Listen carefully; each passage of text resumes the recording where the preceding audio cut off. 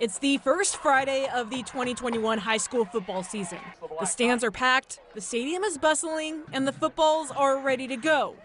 But inside the North Davidson locker room, minutes before kickoff against Reagan, all the noise is canceled out except for the voice of head coach Brian Flynn. He had one dream or, or, or, one goal at the end of the day. Yes, it was to beat cancer, okay, and get through this, but he wanted to suit up with you guys again. Some didn't know if Gavin Hill would ever be in this room in a Black Knights uniform again. Seven, eight rounds of chemo, immunotherapy, radiation. Where were you at this morning?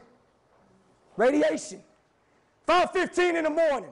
A summer of treatments after battling his second round of neuroblastoma, all with the determination to suit up as the starting quarterback once again. The will fight. Do it for each other.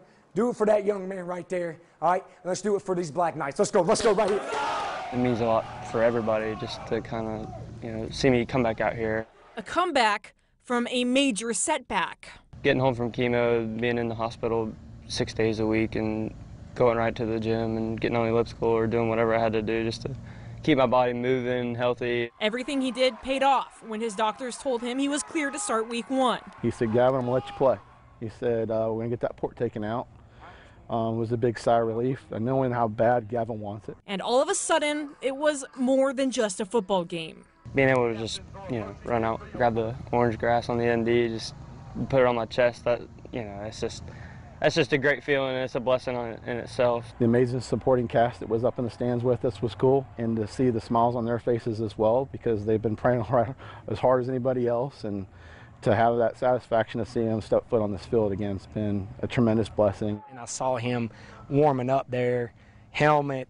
Of course, he was with us in the spring a lot of times, but actually warming up and throwing, that's when I was like, whoa, man, this is cool. A journey of triumph that's only just beginning for Gavin.